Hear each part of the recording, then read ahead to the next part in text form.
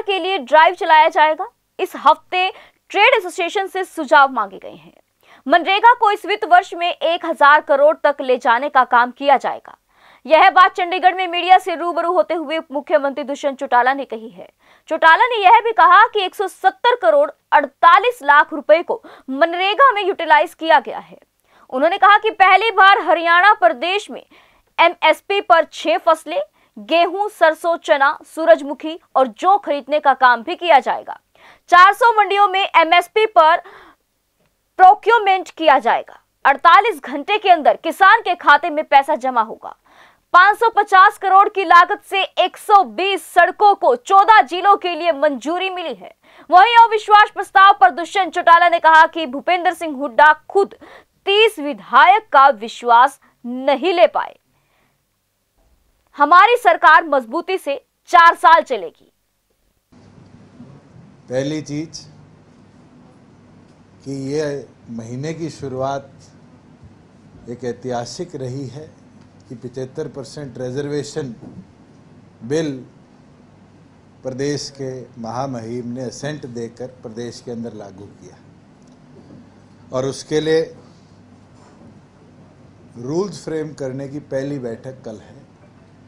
और इस महीने के अंत तक हमारा प्रयास रहेगा कि हम रूल्स को फ्रेम कर कर अप्रैल महीने में 22 के 22 जिलों में और प्रदेश की 67 एम्प्लॉयमेंट एक्सचेंजेस पे मास लेवल पर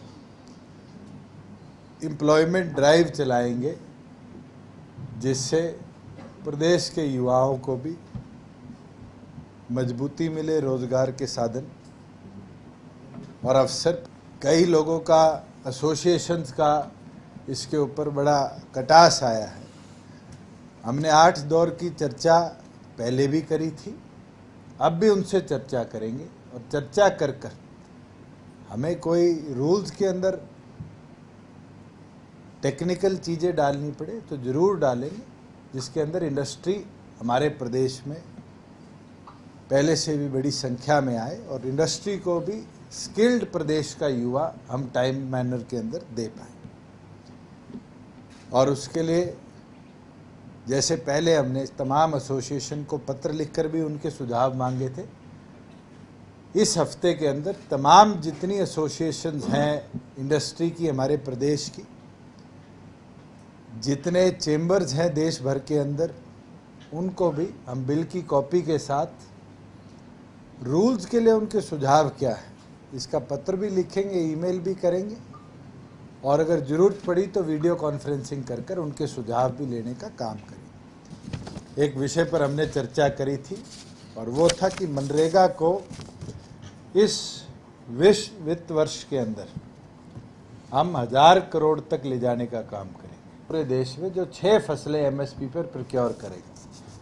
और वो छः फ़सलें हैं, गेहूँ हमारे बीच में बड़ी मात्रा में नौ जिलों में सरसों, पाँच छः ऐसे ज़िले हैं जिसमें दाल और चना, चार ऐसे ज़िले हैं जिसके अंदर सूरजमुखी, और पहली बार होगा कि सात मंडियों के अंदर प्रदेश में हम जो की खरीद को एमएसपी पे करने का काम करेंगे।